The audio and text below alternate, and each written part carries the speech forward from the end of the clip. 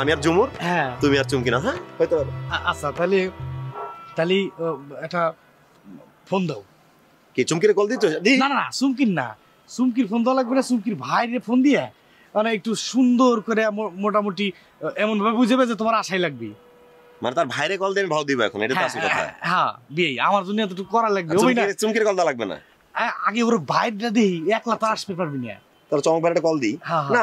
আর খালা তো বলছে যে ওদেরকে হ্যাঁ। দাওয়াত দিতেই। হ্যাঁ। পারমিশন তো পাওয়াই। হ্যাঁ। তারা থাকলে প্রোগ্রামটা ভালো লাগবে আর কি ভালো লাগবে আমার উপকার তোমার মুখে যে হাসি আর প্রেমের দোলা দিচ্ছে হৃদয়ে বুঝছি? বুঝছি। রান ভাই আসসালামু আলাইকুম। আসসালামু আলাইকুম চমক ভাই কেমন আছেন? ওয়ালাইকুম আসসালাম রান ভাই কেমন আছেন? আমি আল্লাহর মতো ভালোই আছি আলহামদুলিল্লাহ। চমক ভাই মানে আপনার সাথে তো আলাপ হয়েছিলই আপনি তো জানেনই যে আমরা আসলে লকডাউনের শর্ট টাইমে খুবই স্বল্প পরিসরে পরিবার সদস্যদের নিয়েই ঠাস করে প্রোগ্রামটা হয়ে গেছে। তো আমরা ভাবলাম যে আসলে আমাদের এই প্রোগ্রামটা একটু বড় করে করি আর কি। তাই আমরা মানে আমার শ্বশুর বাড়িতে এখন আছি, আমার খালার বাসায় হ্যাঁ গ্রামের সাইডে এখানে আর কি মানে মানে আপনারা উপস্থিত হলে আমরা খুব খুশি হইতাম। আপনাদের উপস্থিতিটা আমাদের প্রোগ্রামটাকে আরও বেশি আলোকিত করতো। মানে আপনারা দোয়া করতে পারতেন, আমরা খুশি হইতাম। সো আপনি আঙ্কেলকে বললেন আঙ্কেল আসতে পারলে আসলো, না হলে জোরাজোরি করার দরকার নাই, কষ্ট নিয়ে। কিন্তু আপনি চুমকি কিনে চলে আসেন। তাহলে প্রোগ্রামটা এনজয় করতে পারলে ইয়াং মানুষ আমরা ইয়াং যারা আছি আমরা তো টাইম দিতেই পারব। আর বেশি লোক তো হবে না। আমরা আমরা থাকলাম আর কি আনন্দ উৎসবটা করলাম। আরে রায়ন ভাই আমি তো দোয়া সবসময় করি। আপনাদের সবার জন্যই দোয়া করি। আর অবশ্যই আসার ট্রাই করব। সবাইকে নিয়ে আমি আপনার বিয়ের অনুষ্ঠানে উপস্থিত হব। আসতে হবে কিন্তু ডান অবশ্যই অবশ্যই। রায়ন ভাই ধন্যবাদ রায়ন ভাই। ঠিক আছে। রাখি তার আল্লাহ হাফেজ। ইনশাল্লাহ সিউ সুন ভাইয়া। সালাম আলাইকুম। এই তো হ্যাঁ? হ্যাঁ। কি মানে কথা ভাও বুঝে কি না সে আসলে মন খুলে দোয়া করছে বসে আমি এসে আমি দোয়া করতে চাই সামনে তার মানে আচ্ছা বিয়ে একটা মিনিট। কারে ফোন দাও এখন? হ্যাঁ হুমকি হুমকি? এ বিয়াই ওর ভাই যেহেতু রাজি হয়েছে হ্যাঁ। তার না তোমার তোমার প্ল্যান ঠিক আছে যে ভাইকে যেহেতু বলে রাখছে অফিসিয়ালি ফ্যামিলিগত পারমিশন পাইতে সুবিধা হবে। হ্যাঁ হ্যালো হ্যালো কেমন আছেন? কে আপনি? চিনতে পারছি না। হ্যাঁ?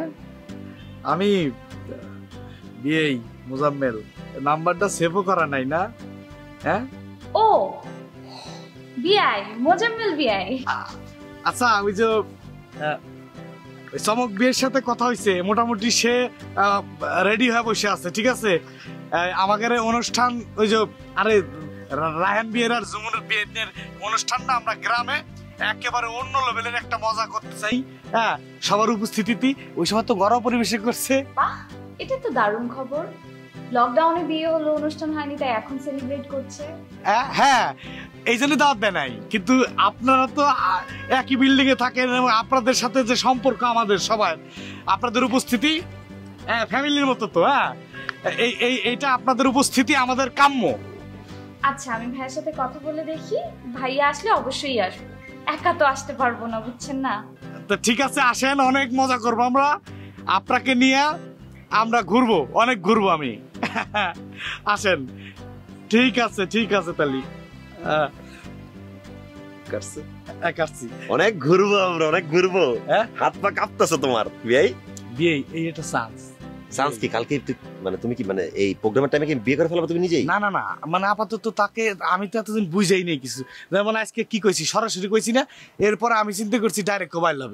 এটা যাওয়াই হবি। আমি বুঝতেছি না আমার তো মনে হচ্ছে আমার প্রোগ্রামটাকে তুমি কেন্দ্র করে ভাবছ যে সাজানো যেতে হয়েছে করে ফেলি আমি বুঝতেছি না। হোক, আসির সাথে। আচ্ছা যদি হয় এটা যদি খারাপ হয় না এই। রাজি আছে এটা আসল কথা তাই না? আমি তো সবসময় রাজি। যাক ঠিক আছে এত তাড়াতাড়ি আসলে এখনও প্রেমের অফারই আচ্ছা, করলাম না। সে কি বলছে? তার তার মতামত কি বলছে যে ভাইয়া রাজি হলে ঠিক আছে আমি তোর বাসায় একা থাকব না ওনার আব্বা নাই। ঠিক আছে সিটে- সিটে আচ্ছা আচ্ছা আচ্ছা আচ্ছা আচ্ছা। কাজে গেছে। তাহলে দুইজন চলে আসতে পারবি অবশ্যই দুজনে একা থাকার কোনো চান্স নাই ঢাকায়। তাহলে আমি চমক ভাই আরেকবার মানে রিমাইন্ডার দিয়ে দেবো নিয়ে আইছো কিন্তু কাজ হয়ে গেছে বিয়ে কাজ হয়ে গেছে। ডান কাজ হয়ে গেছে। বিয়ে I love you I love you too কিন্তু বিয়ে এই? শুধু আই লাভ ইউ তো হবে না। আমি তোমার কিছু কিছু মানে রিকোয়ারমেন্ট জানাব সেগুলো পূরণ করতে হবে এই যে প্রোগ্রাম সাজানোর সময়। হ্যাঁ আমি মতো বলে দিব। ওকে নো প্রবলেম হেল্প করতে হবে আমার। অবশ্যই আমি সারা জীবন নিবেদিত থাকব আমি তোমার জন্য সারা জীবন নিবেদিত থাকব। কতবার লাগবে চুমকিকে আমি হুমকি দিব তোমার হাতে তুলে দিব যাও আবারও column I love you I love you